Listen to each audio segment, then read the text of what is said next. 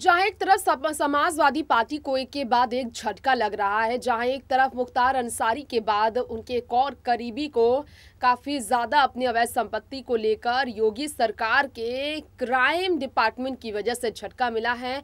दूसरी तरफ़ सपा के एक और विधायक है, जिन पर सबसे ज़्यादा शिकंजे में लेते हुए क्राइम डिपार्टमेंट उन्हें नज़र आई है।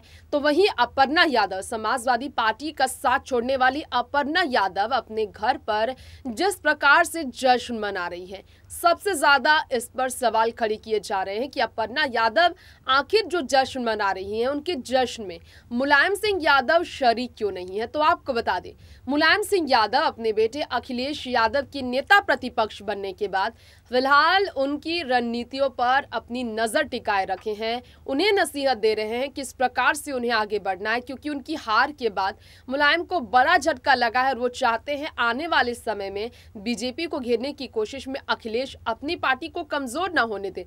क्योंकि आज़म खान जो जेल में बंद है, उनकी मीडिया प्रभारी ने ऑलरेडी समाजवादी पार्टी को लेकर अपना गुस्सा निकाला और कहा है इशारा करते हुए कि ज़रूर फैसला लेंगे, आज़म हो सकता है इस्तीफा दे। इन सबके बीच शिवपाल सिंह यादव का भी बगावत रवैया बरकरार है तो यहाँ पर अपर्णा यादव। रामनवमी के मौके पर जिस प्रकार से जश्न मनाती नज़र आई अपने घर पर, नौ दुर्गा के रूप की पूजा करती हुई नज़र आई और सारे बच्चों को घर बुलाकर उनका आदर सम्मान करते हुए पूजन कर, कन्या पूजन कर उनका आशीर्वाद लेते नज़र आई। इसके बाद किस प्रकार से समाज कल्याण के हित में अपर्णा यादव का काम जारी है, जरा जानिए।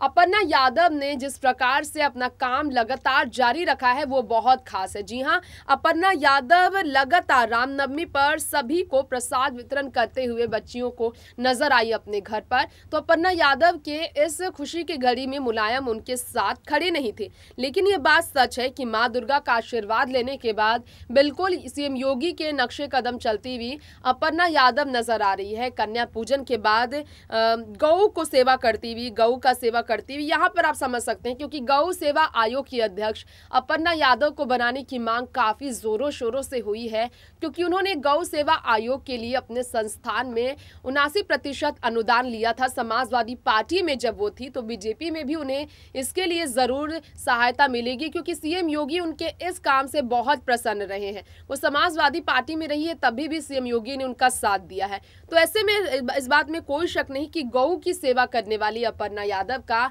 यहाँ इशारा सीधे तौर पर गौ सेवा आयोग की अध्यक्ष बनने की तरफ़ है, जिसे लेकर जनता भी उनके साथ खड़ी है। तो अपर्णा यादव को लेकर आई इस खबर के साथ आज वक्त हो गया है। फ़िलहाल यहाँ पर इजाज़त लेने का।